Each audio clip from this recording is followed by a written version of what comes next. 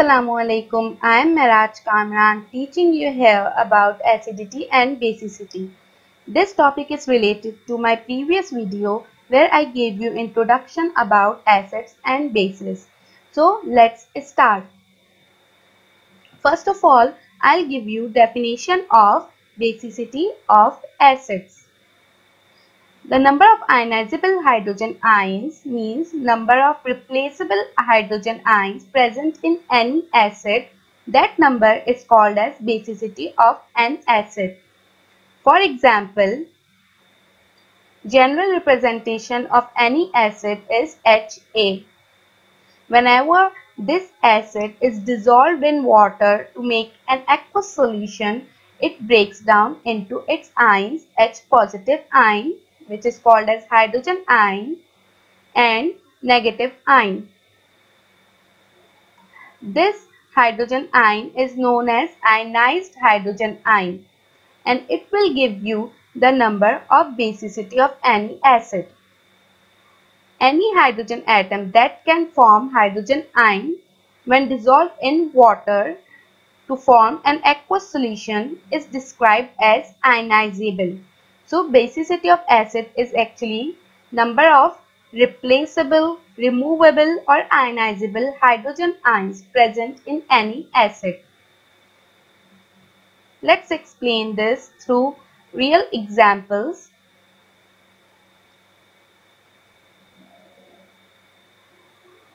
This is an example of a real acid HCl hydrochloric acid. When this real acid hydrochloric acid dissolved in water, it breaks down into its ions H positive ion and Cl negative ion.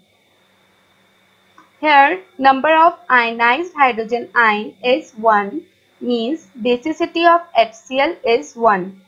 On the basis of this basicity value, HCl is classified as monobasic acid or monoprotic acid. We have another example of sulfuric acid H2SO4. When this acid goes in water to make an aqueous solution, it is dissociated into its ions. It gives two hydrogen ions and sulfate ion SO4 minus 2. So the number of ionized hydrogen ion in case of sulfuric acid is 2. So the basicity value of sulfuric acid is 2 and on this basicity value sulfuric acid is classified as dibasic or diprotic acid. Let's see some other examples. Let's take the example of acetic acid formula CH3COOH. When this goes in water, it breaks down into only one hydrogen ion and acetate ion CH3COO negative ion. In my previous video, I explained the ionization of acetic acid.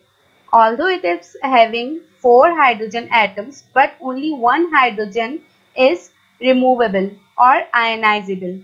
So the basicity of acetic acid will be 1 and it will be classified as monobasic acid or monoprotic acid. Let's see the example of H3PO4 also known as phosphoric acid.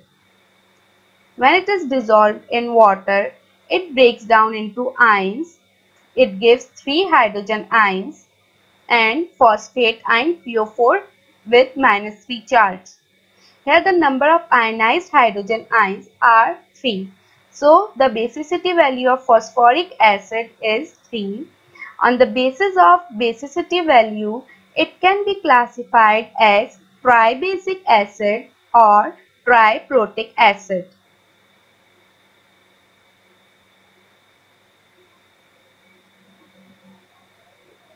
Now on this basis, we can classify acids into different classes. First is monobasic acid. Acids that contain only one ionizable hydrogen ion and their basicity value is 1. These types of acids are called as monoprotic acids or monobasic acids. For example, HCl, when it is dissolved in water, it gives only one hydrogen ion and one chloride ion. So its ionization takes place in one step. So it is known as monobasic acid or monoprotic acid. Second type is dibasic acids. These acids contain two ionizable hydrogen ions and their basicity value is 2.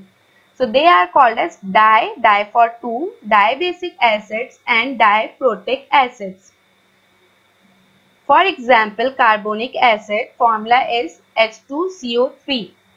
When it will dissolve in water, now in, this, in the formula of carbonic acid, there are two hydrogen atoms. You can see here. So out of these two hydrogen, only one will ionize in first step. Second hydrogen is with the remaining negative ion. Now this second hydrogen will remove in second step. After removal of second hydrogen ion, it has become carbonate ion CO3 minus 2. So its ionization is taking place in two steps. Therefore, it is called as dibasic acid. In first step, only one hydrogen is removed. Hydrogen will have positive charge. So, the remaining radical will have negative charge. The third type of acid is known as tribasic acid. These acids contain three ionizable hydrogen ions and their basicity value is 3. So they are called as triprotic acids or tribasic acids. For example, phosphoric acid H3PO4. When it is dissolved in water, in first step, only one hydrogen ion will remove out of 3 because you can see in the formula there are 3 hydrogen ions. So out of 3 only 1 will remove and 2 will be here with the remaining radical and the remaining radical will have minus charge. In second step, from this remaining radical, one more hydrogen ion is removed and now remaining will be HPO4 minus 2. Here you can see before ionization there were two hydrogen atoms and after ionization there is only one hydrogen atom left with the remaining radical and it will have one more minus sign so it will become minus 2. Still it is having one hydrogen atom so this hydrogen atom will be removed in third step. Here in third step you can see the last hydrogen atom has removed and remaining radical has become PO4 and it has increased one more negative sign so it has become minus 3. So in three steps, each three hydrogen atom is removed as hydrogen ion. So ionization of such type of acids will take place in three steps. Therefore, they are called as tribasic acids or triprotic acids. Now let's discuss this property with respect to bases. It is known as acidity of any base. As you know, bases have OH negative or hydroxyl ions. So, number of ionizable hydroxyl ions present in any base, that number is called as acidity of that base. For example, general representation of any base is BOH. According to Arrhenius theory, whenever this base is dissolved in water to make an aqueous solution, it will break down into ions and it will produce OH negative or hydroxyl ion. Here the number of OH negative ion is known as ionized hydroxyl ion. This number will tell you the basicity, uh, sorry, acidity value of this base. Let me explain you this in detail. Let's take the example of a base sodium hydroxide. It is also known as caustic soda. Whenever this sodium hydroxide is ionized in water, it gives two ions, one Na positive ion and OH negative ion. Here number of ionized hydroxyl ion is 1. It shows acidity value of sodium hydroxide is 1. On the basis of its acidity value, it is classified as monoacidic or monoprotic base. Let's see another example. Magnesium hydroxide MgOH2. There are two OH ions in the formula of magnesium hydroxide. So when it will dissolve in water, it will produce Mg plus 2 ion, magnesium ion and 2 hydroxyl ions. Here number of ionized hydroxyl ions are 2. Therefore, acidity of magnesium hydroxide is 2. And magnesium hydroxide is classified as diacidic or diprotic base. Let's see one more example. Aluminium hydroxide AlOH3. When this base is dissolved in water, it gives 3 hydroxyl ions and aluminium ion with plus 3 charge. The number of ionized hydroxyl ions are 3 here. So acidity value of aluminium hydroxide is 3. Therefore, it is classified as triacidic or triprotic base. On this basis, we can classify bases also on the basis of their acidity value. First type of bases are known as monoacidic base. These bases contain only one ionizable hydroxyl ion and their acidity value is 1. They are called as monoprotic bases or monoacidic bases. Example of monoacidic base is potassium hydroxide. When it is dissolved in water or it is ionized, it gives potassium ion K plus and hydroxyl ion OH negative. Its ionization can take place in one step only. Therefore, it is known as monoacidic or monoprotic base.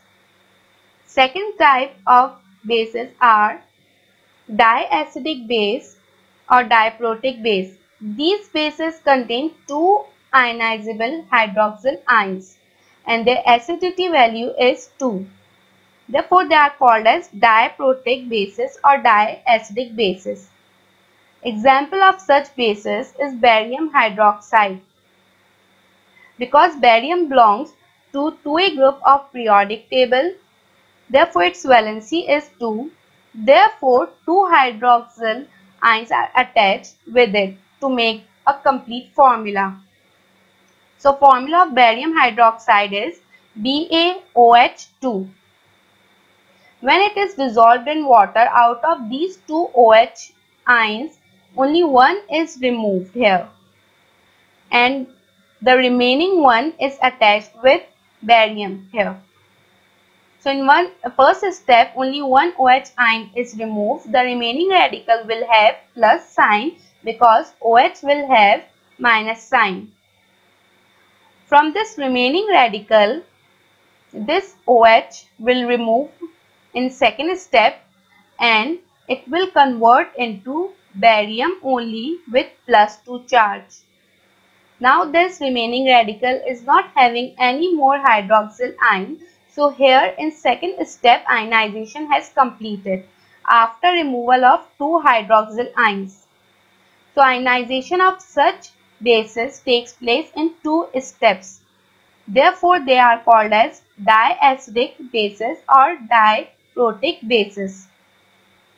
Third type of bases is called as triacidic bases. These type of bases contain three ionizable hydroxyl ions and their acidity value is 3. Therefore, they are called as triprotic bases or triacidic bases. Example of such type of bases is chromium hydroxide. Because the valency of chromium is plus 3, therefore 3 OH will attach with it. So formula will become CrOH3. In first step, out of 3, only one hydroxyl ion has removed and 2 are still attached with chromium. And this radical will have plus sign because OH was having minus sign. In second step, from these two OH, one more OH has removed so the remaining formula of the radical will be CrOH plus 2 because now two hydroxyl ions have removed. Still this radical is having one OH ion so it will be removed in the third and final step. After removal of this final last OH ion, chromium will have plus 3 sign. So, in three steps, ionization of such bases takes place. Therefore, these types of bases are called as triacidic base and triprotic base. I hope you understood everything. Now it's time for some homework.